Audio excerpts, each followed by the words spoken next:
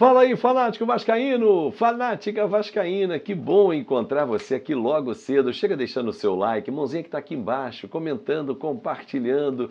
Hoje é dia de Vasco.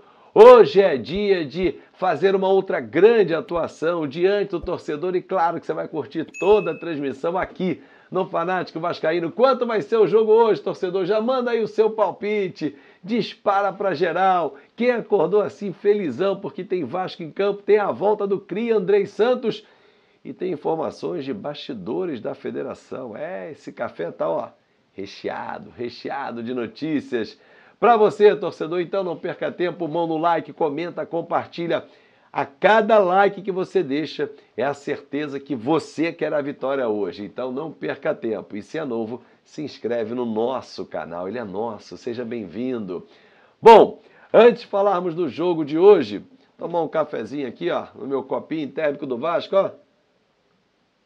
Hum.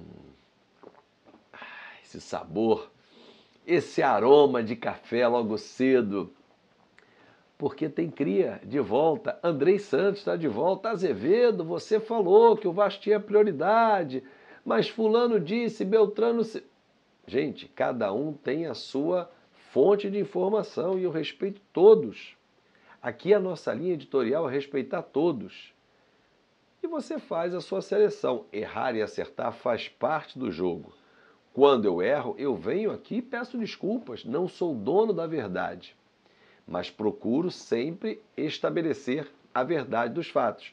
Como, por exemplo, ah, o Andrei estava pistola, pô, não estava querendo voltar ao Vasco, ele queria jogar no Palmeiras. Mentira. No Palmeiras ele tinha uma situação que no Vasco não tem, que é a Libertadores, para pontuar a mais. Só que o Palmeiras não aceitou as condições impostas pelo Chelsea.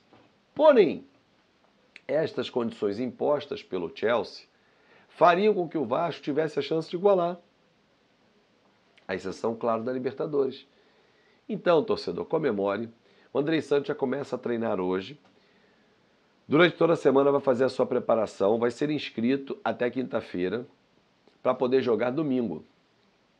Domingo eu vou ao Maracanã, vou torcer pro time que sou fã leva a sua bandeira, leva a sua camisa, vai ser um grande jogo. Diante do Flamengo, a volta do Cria. Melhor oportunidade não há. Azevedo e o Marlon Gomes? Não vai voltar nesse jogo? O Figueiredo? O Capasso não pode estrear? São perguntas que ao longo da semana o Barbieri vai tirar, vai ter essa resposta. Porém, hoje tem jogo com Boa Vista. Eu vou falar daqui a pouquinho do jogo de hoje. Mas eu duvido, duvido que ele escale Marlon Gomes, Capasso Andrei todos juntos. Figueiredo, não vai. Figueiredo está numa reta final de, de volta, né, na, tá na fisioterapia, o Marlon Gomes também. Se der, eles vão no banco, como opções. E o Capasso, que também já está um tempo sem atuar, vai como opção no banco. Pô, mas não veio para ser titular, gente. O jogo do Flamengo não é o último jogo da vida do Vasco, não. Agora, o Andrei não pode ficar de fora. Ah, pô, o Andrei. Não, ele vinha jogando sub-20. O Andrei tem que começar logo jogando. Rodrigo, Jair e Andrei, ponto final. Não tem história. Esse é o meio-campo do Vasco. Ah, o André vai jogar quantos jogos, Azevedo?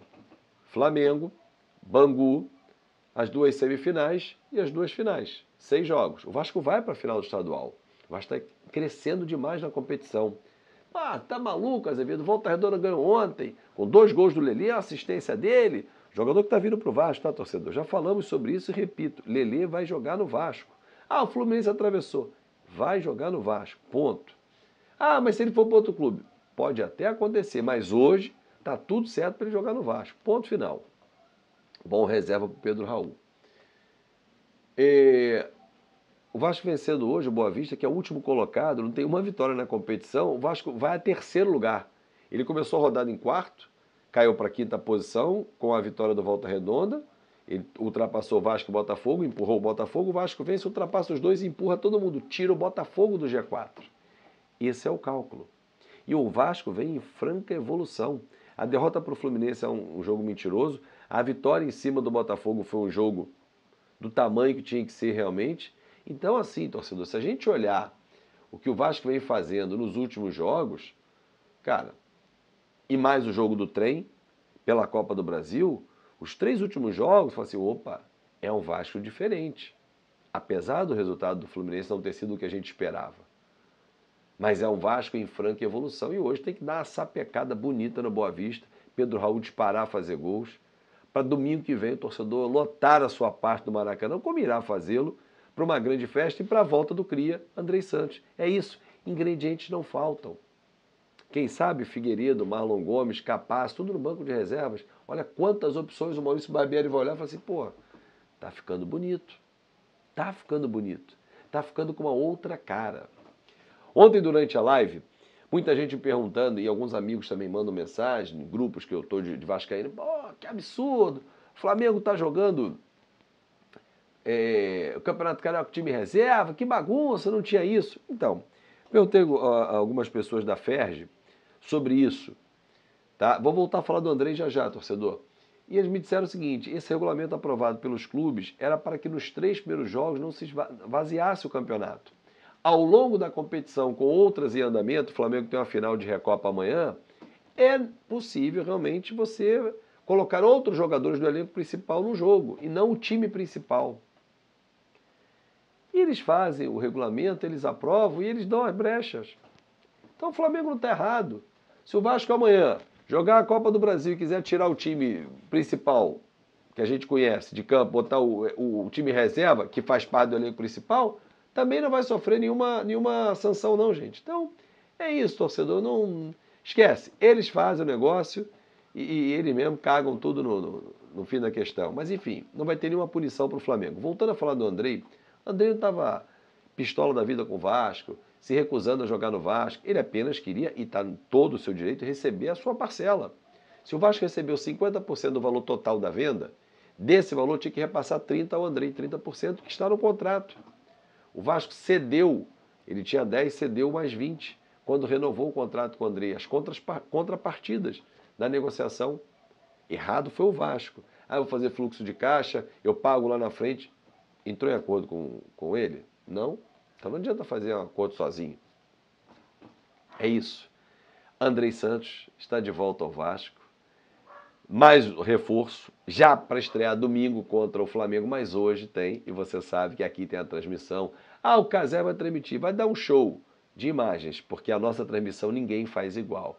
Então vai ser olho no Casé e conectado no pai aqui, antes, depois, durante, tudo aqui com a gente, numa transmissão bem diferente. E eu tô animadão. Eu tô animadão. Apesar de eu saber que hoje vai ser um jogo muito difícil para o Vasco.